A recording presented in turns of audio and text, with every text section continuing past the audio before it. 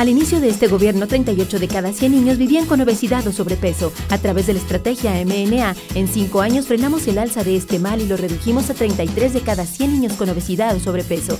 Falta camino por recorrer, pero estamos en la dirección correcta. DIF Coahuila, quinto informe de resultados. Coahuila, un estado con energía.